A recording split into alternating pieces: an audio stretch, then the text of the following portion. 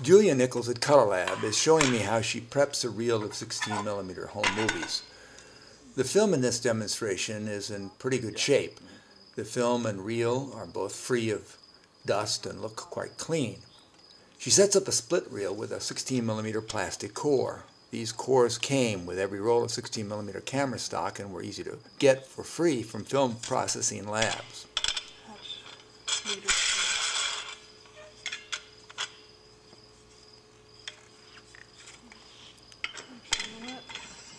Some clamps, but they're blue.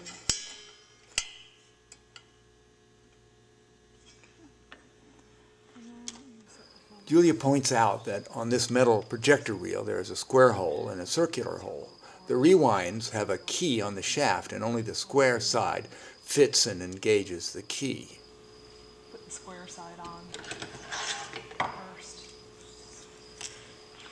So this leader has some identification on it. The writing on the leader is very faint, but it is important to keep this descriptive information.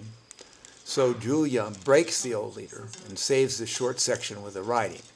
She will use it later in the demonstration. It's nice to keep the textual material. From a new roll of 16 millimeter white film leader, mm-hmm. she pulls out a new section, one, two, three, and breaks it from the roll.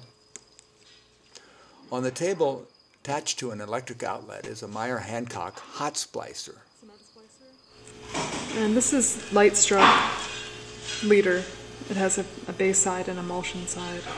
And um, on this cement splicer, um, you start with the right side first, and you want, you want the, the base side down. The base side is the side that's going to um, be glued together over here. On this side, we have uh, on the film an emulsion side and um, a base side.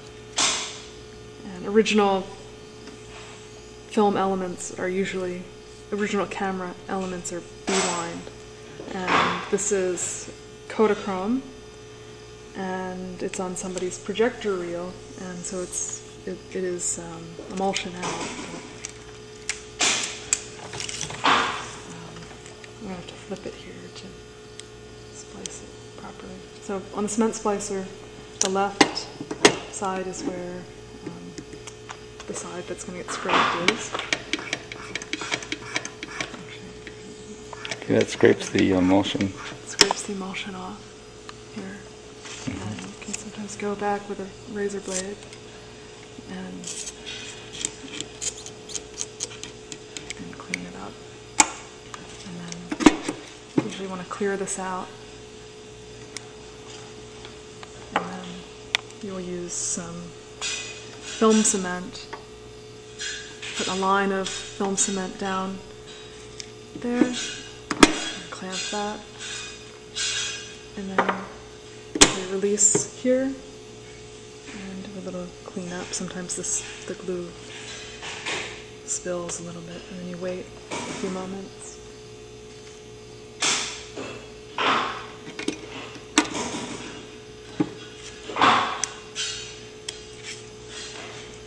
Okay. And then mm-hmm. you want to check your your splice. Give it a little twist. Make sure it's okay. To identify what your film is. So this is somebody's home movie. I'm just going to put family home movie. And Julia continues and copies the information from the old leader that she saved. Archivists in the future will be very thankful for her good, clear handwriting.